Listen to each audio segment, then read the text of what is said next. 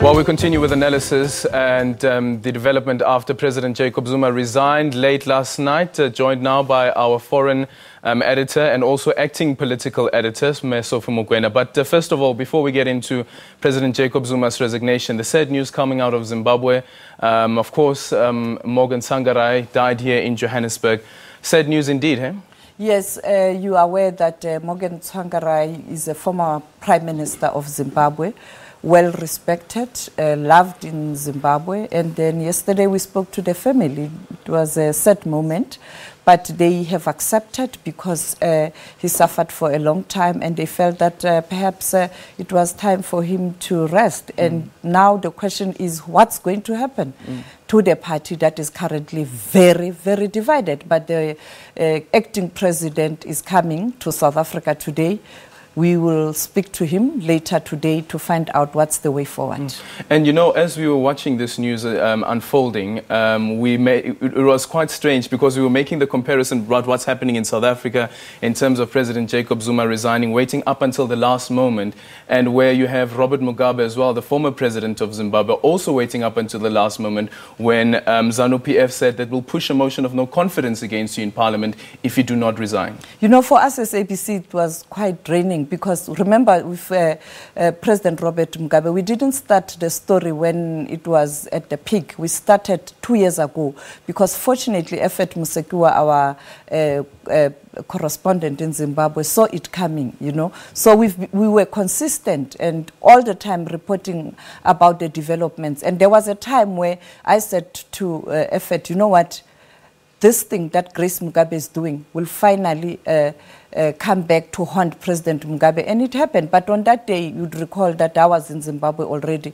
In the morning after the march, the writing was on the wall. We thought President Mugabe will resign. It didn't happen. At night, in the evening, around 5, we got the call that he was going to read a speech.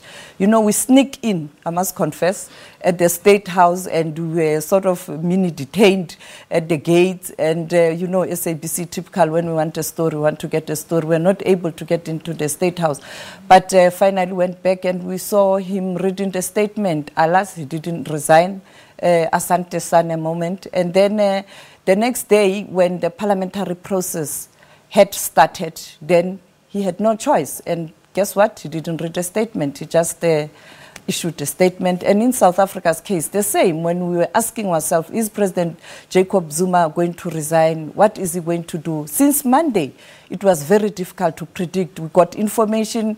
This is now the technicalities and all that is adamant. Uh, it was tough. The talks didn't happen. It, it did happen on Saturday in Sandton, you know, lots of information. And finally, last night uh, at around 9, confirmation indeed he is going to address the nation. Still, we didn't know. Somebody had given me a tip off that uh, he's going to resign, but I was scared because you can't predict President Jacob Zuma. Because it's such a big issue. Just quickly, just let's make the comparison between the era when Thabo Mbeki resigned as well as the era where Jacob Zuma eventually also stepped down.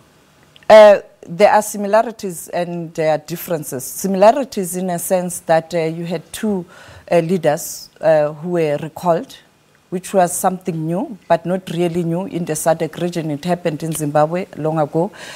The second issue is uh, you had a sitting president who was ready to go, Thabo didn't hesitate. I remember I got the news at 4 a.m. when a decision was taken at the NEC that he's going to be recalled a.m. because I was acting political editor then. And then we got information from his office that he's going to wind up everything, meet minister, cabinet ministers, meet the army generals, meet the security cluster just to say goodbye. And he did just that. He executed the whole thing in a in a very dignified manner. And in the military, we can say a word in, in precision.